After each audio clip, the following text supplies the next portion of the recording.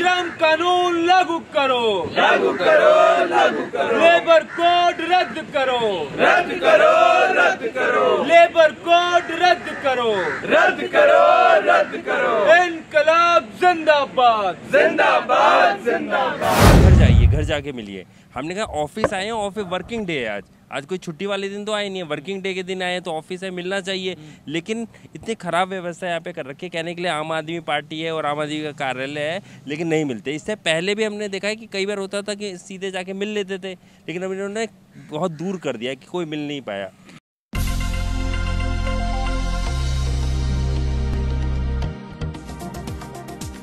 दिल्ली के मजदूरों एक हो। एक हो एक हो दुनिया के मजदूरों एक हो। एक हो एक हो। श्रम कानून लागू करो। लागू करो लागू करो। कारखानों में सुरक्षा के कानून लागू करो। लागू करो लागू करो। कारखानों में सुरक्षा के कानून लागू करो। लागू करो लागू करो। मजदूर एकता जिंदाबाद। जिंदाबाद जिंदाबाद। श्रम कानून लागू करो। लागू करो लागू करो। लेबर कोड रद्द करो। रद्द करो रद्द करो। लेबर कोड रद्द करो।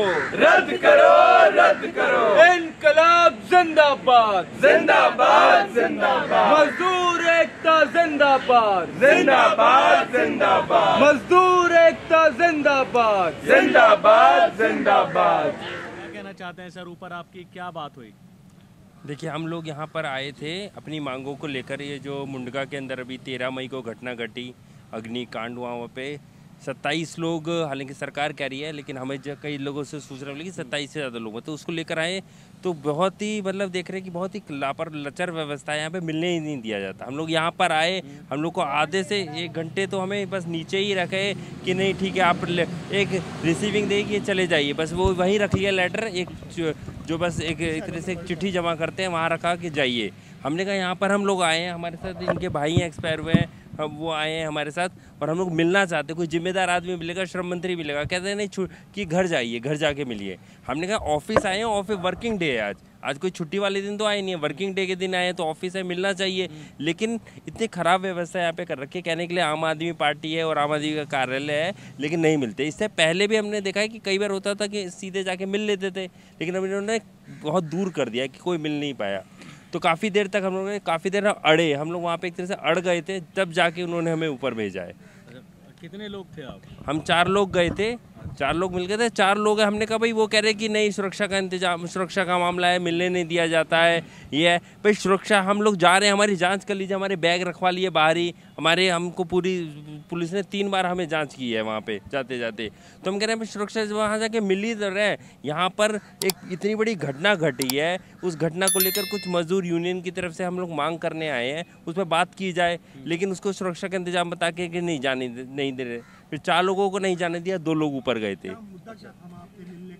हमारा मुद्दा देखिए मुख्य तौर पे ये है कि जो मुंडका के अंदर घटना घटी ये घटना कोई पहली घटना नहीं है। मुंडका में घटी उससे पहले नरेला में बवाना में उससे पहले झिलमिल में हुआ।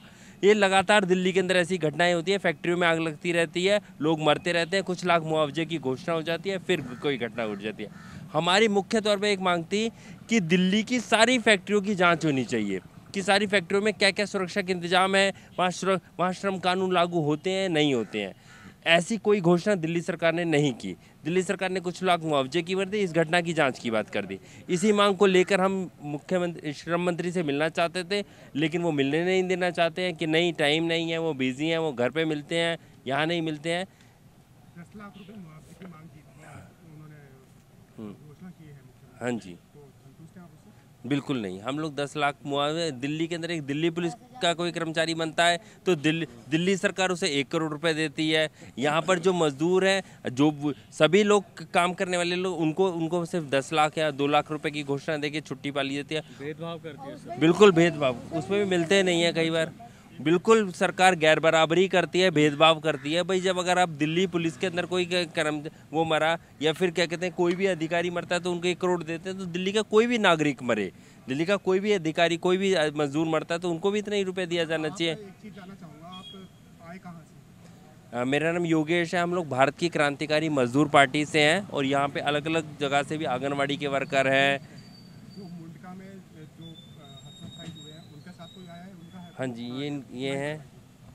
क्या नाम है आपका? पूजा। अच्छा उस फैक्ट्री में जिसमें आग लगी है उसमें कौन आपका कौन काम करते थे? जी मेरा भाई था छोटा।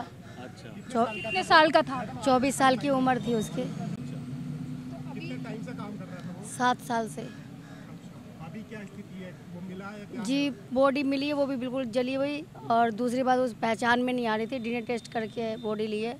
वो एक हाथ हाथ सीधे हाथ में इस वाली उंगली में मतलब उंगली में छल्ला था और कड़े से मतलब वो पहचान हुई थी। जो फैक्ट्री थी उसके अंदर वो मालिकों की उसकी वजह से हुई लापरवाही की वजह से। तो कुछ सुरक्षा के इंतज़ाम किए गए थे जी नहीं जी नहीं नहीं सर कुछ भी नहीं हुआ था उसमें। जब भी तो अगर सुरक्षा होती तो फिर इतनी मौतें नहीं होती। मनीष सिसोदिया से मिलने आई आप यहाँ जी हमें तो कोई वैसा कुछ मिला नहीं। वो सर उनका नाम लेकर आई थी? क्या मांग थी आपकी जी यही है कि जो ये जो बोल रहे जो दस लाख रुपए देंगे उसका कोई कंफर्म नहीं है जो दे ही देंगे बस कहते हैं। जब आप, अंदर गई तो केजरीवाल जी मिले या फिर उनका जी कोई अधिकारी जी उनका कोई पीए कोई था वही मिला। जी हाँ जो भी है। वो बोले कि वो लंदन जाएँगे और अभी नहीं आएँगे अट्ठाईस तारीख को आएँगे। मतलब अट्ठाईस तारीख के बाद जी। मजदूर जिनकी मौतें हुई है हाँ। पीड़ित लोगों से वो अट्ठाईस तब भी नहीं मिलेंगे तभी भी कोई कंफर्म नहीं है कि जो मिलेंगे। ही बस बस बस हाँ। है है बस बस मिलने के लिए कह दिया है पर उसका कोई वो नहीं है, तोड़ नहीं है कि जो हमें मिल ही जाएगा। और इतने सारे जो बता रहे हैं सत्ताईस लोग मर गए हैं, जो सत्ताईस लोग नहीं हैं, वो मतलब चार सौ वर्कर काम करते जिसमें मेरा भाई खुद बता के गया था। क्यों? कि मुझको भी उसमें जॉब करना था तो मैंने उसको बोली थी। तो बोला था कि मतलब उसमें पेमेंट की एक वजह से मैंने नहीं किया, कि पेमेंट बहुत कम दे रहे थे। मेरे भाई को जब इतने साल से काम करे सात हज़ार रुपये दे रहे थे, आठ किया। अब इस समय मतलब दस हज़ार रुपये करा तो मेरा भाई नहीं रहा। वो तो क्या कहते जी नहीं वो तो जेल में है थाने में है। उसमें सिटी सी कैमरे सिटी सी कैमरे बनते थे और आरओ की वो फ़िल्टर मशीन बनती थी और उसमें कई जी नहीं सर कुमारा था। कितने महीने से काम कर रहा था सात साल से। सात साल से काम जी। तो अब आप क्या चाहते हैं? अब इंसाफ चाहिए सभी को चाहिए कि हमारे भाई को ही नहीं मैं जब जितने वर्कर मरे हैं सात शादीशुदा नहीं है। जितने भी वर्कर मरे हैं वो सबको चाहिए वो मिलना चाहिए। जी हाँ कोशिश तो यही है कि फिर आना पड़ेगा जब इंसाफ लेना अभी आपसे क्या कहा अंदर अधिकारियों ने? अब उन्होंने यही बोल दिया कि अभी नहीं अट्ठाईस तारीख को मिलेंगे। सिर्फ़ यही आश्वासन बस, दिया बस, बस। और कोई के न्याय मिलेगा कुछ अभी इतना कुछ? नहीं जी नहीं। पचास लाख की मांग है वैसे तो जो हर वर्कर मतलब दस लाख रुपए में ऐसे लगता है जैसे कोई भीख दे रहे हो। मतलब इंसान की कोई वैल्यू नहीं है ज़िंदगी की कोई वैल्यू नहीं है। इंसान तो चला गया ना। अब जो है उसकी उसकी कहाँ से करेंगे पालन? क्योंकि हमारा भाई अकेला था मतलब वैसे होने को तो दो भाई हैं। पर काम करने वाला वो एक ही था कमाने वाला। अपने भाइयों को माँ बाप को सबको खुश रखना क्या नाम था आपके भाई का? विशाल। विशाल नाम था पिता का नाम मिथिलेश था मिथिलेश सिन्हा। आपको आपको लिखित में दिया कि ये कुछ नहीं। जो ऐलान किया जी गया नहीं कुछ नहीं कुछ नहीं दिया किसी को नहीं दिया। बस वो मीडिया में जो टीवी पे दिखा रहे हैं बस वही हमने सुना बस। और उससे कुछ बात थोड़ी हुई है। दिल्ली के रहने वाले हो या कहीं बाहर? जी यहीं मुंडका में रहते हैं जहाँ पे आग लगी है ना तो रानी खेड़ा जो रोड है ऐसे मदन पुड्डाबाद भाग बिहार वहीं अंधा कॉलोनी गली नंबर एक में रहता है रहते हैं हम लोग। हम्म, वहाँ पियर है। और नागलो में मेरा ससुराल है। अभी हमने बात की उसी पूजा से, जिसने अपने भाई को, उस आगजनी, यानी कि मुंडका कांड जो हुआ था, अग्नि का, अग्नि मुंडका कांड जो हुआ था, उसमें अपने भाई को खो दिया। उसी में, उसी के चलते जो है, ये अभी आज सचिवालय आई थी।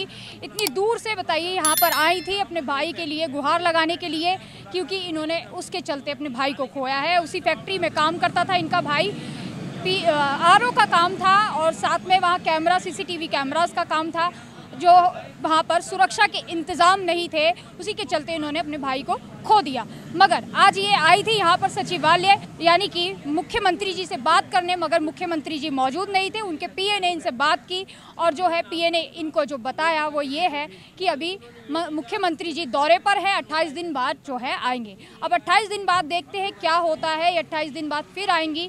इसी तरीके से मजदूर जो है अपनी गुहार लेकर कहीं ना कहीं पहुँच रहे हैं और सरकार से लगातार गुहार लगा रहे हैं कि उन्हें उन मुआवजा जो 10 लाख किया गया है, वो 50 लाख कर दिया जाए या फिर उन्हें अच्छा रोज़गार दे दिया जाए। इसी तरीके से जो है मजदूर सारे इधर उधर भटक रहे हैं, लगातार गुहार कर रहे हैं, सरकार से मांग कर रहे हैं। इसी के साथ आप देखते रहिए। कैमरामैन धर्मेंद्र के साथ जनहित आवाज़, दिल्ली।